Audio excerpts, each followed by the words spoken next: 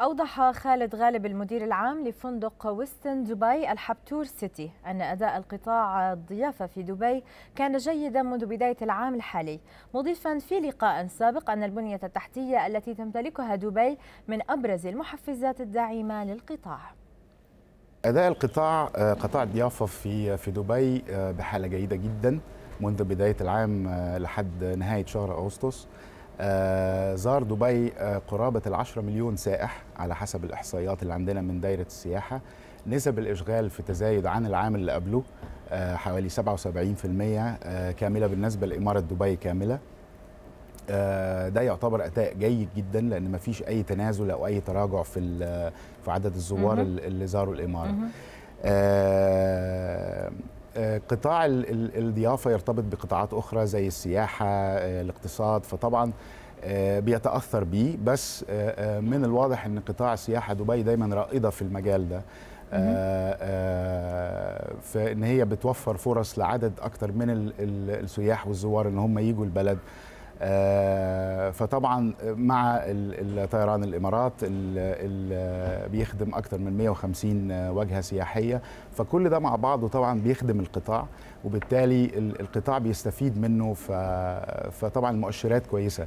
آه كان في حوالي آه 18 مليون ليلة محجوزة في في دبي من بداية العام لحد دلوقتي.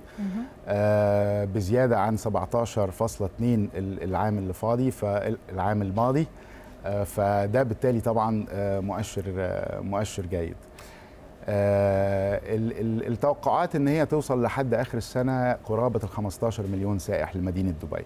اذا باننا نتحدث عن نمو قطاع الضيافة في دبي وأرقام تثبت ذلك، ما هي المحفزات التي توفرها دبي برأيك حتى ينمو بالفعل هذا القطاع وما هي أبرز المحفزات ربما المطلوبة حتى يستمر أيضا في النمو؟ دبي تمتاز ان إن كل حاجة بتمشي مع بعض زي ما بنقول. جميع الدوائر والمؤسسات بتشتغل على كلمة واحدة بتشتغل على خطة واحدة.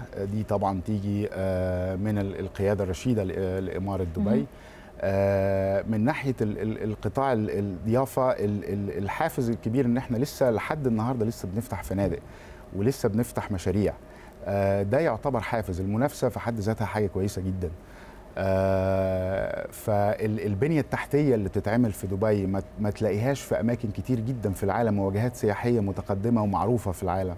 اللي جذب شرائح شرائح جديدة من من من الزوار ومن نوعيات السائحين للإمارة. على سبيل المثال دبي Parks and Resorts IMG آه عندنا إحنا مثلا في الحبتور سيتي على أول مشروع على قناة دبي المائية.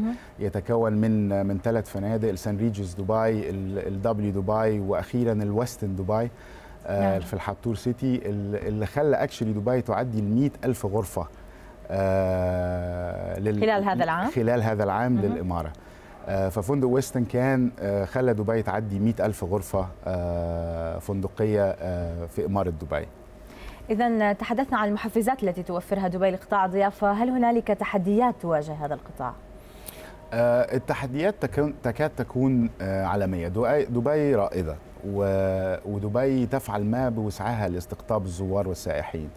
آه لكن لما يكون في حاجة عالمية تؤثر على حركة السياحة العالمية نعم. وعلى حركة الزوار للمدن المختلفة فطبعا بيحصل فيها تأثير بس دي حاجة إحنا بنحطها ورانا أن أن وبنكمل آه آه إن إحنا نشتغل مع الأسواق الموجودة حاليا إن إحنا نستقطب منها السياح ومع أسواق جديدة بالتعاون مع دائرة السياحة في في دبي. ده طبعا بيدينا حافز إن إحنا نشتغل أكتر والمشاريع تنمي أكتر وإن إحنا ما بنقفش إن إحنا في مشكلة حصلت في حتة معينة إن إحنا هتأثر علينا لا بالعكس بنروح أماكن جديدة ونشوف إزاي نقدر نجيب الزوار والسياح منها للإمارة.